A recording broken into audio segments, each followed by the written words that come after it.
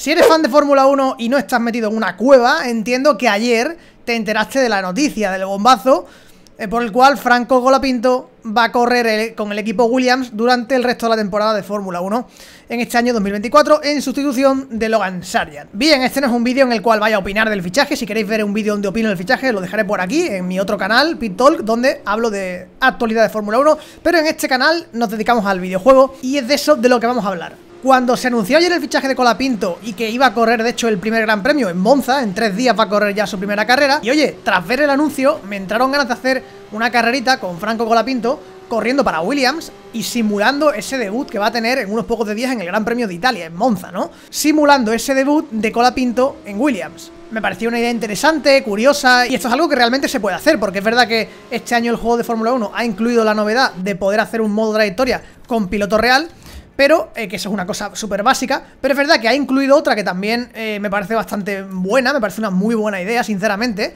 y es el hecho de que también puedes hacer lo mismo con un piloto de F2 pero no necesariamente pasando por F2. Es decir, tú puedes empezar un modo trayectoria con un piloto de F2 pasando directamente a un equipo de Fórmula 1. Y haciendo uso de esta herramienta, iba a hacer yo mi vídeo eh, debutando con Franco Colapinto, ¿no? En ese equipo Williams y en el circuito de Monza. Y es un vídeo que, oye, me apetece bastante hacer por la situación, ¿no? Que se ha dado y digo, oye, puede estar gracioso, puede estar interesante hacer eh, ese vídeo, ¿no? Simulando el debut de, de Franco Colapinto. Tan sencillo como empezar un modo trayectoria con un piloto de Fórmula 2, como estáis viendo en pantalla, poner un calendario reducido de 10 carreras y poner Monza la segunda para rápidamente simular una de las dos y pasar a Monza. O sea, es bastante fácil, eh, si no te quieres hacer un modo carrera entero, ir directamente a ese gran premio, ¿no? Bien, pues yo esta mañana me he despertado completamente dispuesto, sin ningún tipo de duda, a grabar este vídeo, con muchas ganas, debo decir, cosa que no me pasaba desde hace bastante tiempo con este juego, porque este juego ya sabéis cómo está. Pero oye, de alguna manera me habían entrado ganas de correr algo que no fuera modo trayectoria. Y digo, venga, vamos a por ello, pero claro, hay un problema. Hay un problema y de ahí la miniatura espera sentado.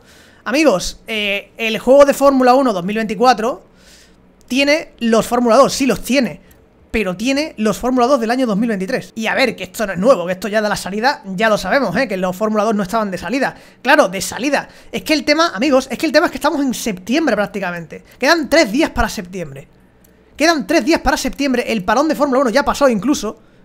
Y aquí en el videojuego de la temporada 2024 siguen sin estar los Fórmula 2 de 2024. O sea que ya era inadmisible, y ya lo dije yo de hecho en el video análisis cuando el juego salió, ya lo dije, que es completamente inaceptable, ¿no? Que el juego salga de la temporada 2024, salga sin todos los coches de 2024, eh, me parece inadmisible, pero claro, ya esto supera eh, el umbral de, no sé, de, la, de la poca vergüenza, porque como digo, estamos ya en septiembre.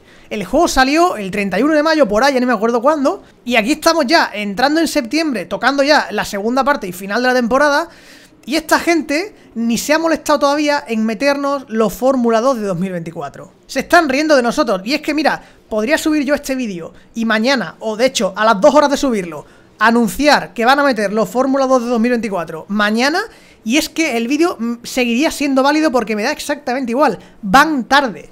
Van tarde desde el día de salida, pero cada día que pasa van muchísimo más tarde todavía, porque lo que no puede ser es que un videojuego que sale anualmente no tenga el contenido actualizado desde el minuto cero. ¿Cómo puede ser que hayamos normalizado tener los Fórmula 2 del año anterior durante gran parte del tramo en el que juego está al mercado? Porque, porque vamos a ser sinceros, la mayoría de gente juega también al principio y durante la temporada. En enero, en, marzo, en abril el juego está ya muerto. O sea, vas a meter los Fórmula 2 nuevos cuando el juego ya esté muerto, cuando no lo juegue ni Cristo, ¿no? Claro, buenísima idea. Pero es que sinceramente no es solo eso, porque yo he dicho al empezar este vídeo que e, este tema de Franco Colapinto y tal me había animado a mí a correr, a jugar al juego. ¿No? Sin ser modo trayectoria, insisto. Y yo creo que esto le habrá pasado a más gente, porque yo creo que muchos fans de Fórmula 1 le gusta jugar en base a la actualidad, ¿no? A las cosas que pasan. Y cuando hay gran premio en un circuito, pues la gente que le gusta jugar en ese circuito. Cuando hay un fichaje, la gente le mola pillar ese, ese coche, ese piloto nuevo, tal. Entonces, yo creo que este anuncio de Franco Colapinto creo que ha animado, o creo que no habré sido el único al que le han entrado ganas de, decir, oye, pues me apetece correr con Franco Colapinto en Williams en Monza, o donde sea, o hacerme un modo trayectoria incluso con Franco Colapinto en Williams, porque creo que realmente es un incentivo. Y es que estoy seguro de que habrá un montón de gente que, igual que yo, llevaría algún tiempo sin jugar y ha dicho, venga, pues me voy a hacer un modo carrera ahora que llevo tiempo sin jugar, tal, esto me han, me han entrado ganas de jugar, oye, se ha metido en el juego, ha intentado hacerlo y se ha dado cuenta de que Franco Colavinto no está en el juego porque es piloto del 2024 y no de 2023. O sea, de verdad, el juego este año no está para estas tonterías. El juego este año eh, está mal, está peor que nunca, la situación es más crítica que nunca.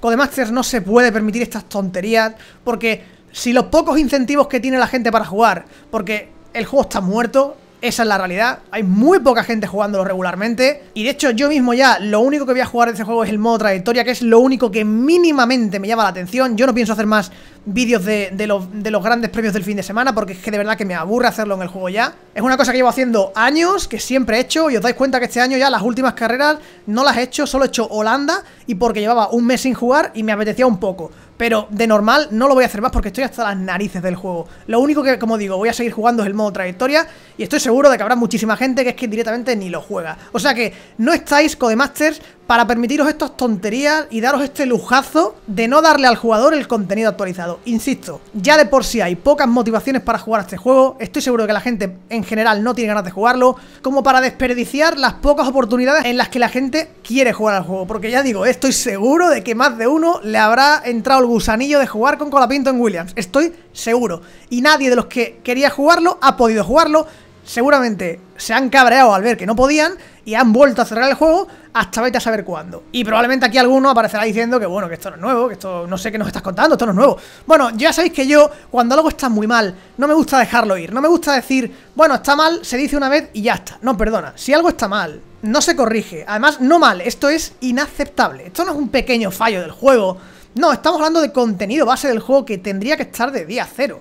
¿vale? Entonces, claro, yo lo que no voy a hacer, como bien comprenderás, además como creador de contenido del juego, me siento en la responsabilidad de ello, de porque algo esté horriblemente mal del día cero, yo ya no lo voy a recordar el resto del tiempo. Eh, obviamente no voy a estar todas las semanas haciendo un vídeo de Fórmula 2, pero me ha parecido correcto, tres meses después por lo menos, en un momento así, en el cual yo creo que la gente, como digo, eh, ha querido jugar con Colapinto y no ha podido hacerlo, me ha parecido un momento muy interesante para recordar. Recordar que efectivamente, si alguno tiene intención de jugar con los Fórmula 2 de 2024, pues que se espere sentado. Que se espere sentado un buen rato, porque a saber cuándo lo tienen pensado hacer. Ya digo, que lo van a meter en noviembre, en octubre, cuando ya a nadie le importe una mierda este, esta temporada de Fórmula 1, que ya estará terminada prácticamente, es que es lo que no entiendo, la estrategia es absurda. Y de verdad, con esta pasividad y este nivel tan paupérrimo que tenemos este año en el juego, todo lo que se merecen es que no lo compre nadie el juego. Y esa es la realidad, tío. Y si en el 25 no despiertan, yo ya no sé ni qué hacer aquí, de verdad. Porque yo ya no puedo más con este juego. O sea, de verdad, lo que me estáis viendo en el modo trayectoria ya me estáis viendo sufrir porque es que no hay manera. No hay manera. Yo ya fuera del modo trayectoria, ni, como digo, ni pienso jugarlo. Pero es que en el propio modo trayectoria, la jugabilidad es que no te ayuda en absoluto. Entonces, nada, es un poco desesperante, pero bueno, simplemente quería hacer un vídeo frustrante, la verdad. Yo personalmente como digo, también es que ya ni me acordaba de los formuladores, pero es que daba por hecho que ya estaban. Yo me he despertado esta mañana completamente seguro de poder grabar el vídeo con Colapinto. He ido a encender, o sea, lo he puesto todo, he puesto el volante, he puesto el juego. Digo, vale, venga, vamos a hacer una carrera en Monza, he puesto... Y cuando he intentado entrar en el modo, no estaba Colapinto. Y sinceramente ya, es que por mucho que la arreglen a estas alturas, es que el estropicio está hecho. Pero bueno, F94, un día más, dejando las peores sensaciones de cualquier juego de Fórmula 1 en muchísimos años. Si os ha gustado el vídeo, como siempre se agradece un like, comentarios desde el respeto. Por mi parte esto ha sido todo y nos veremos en el próximo.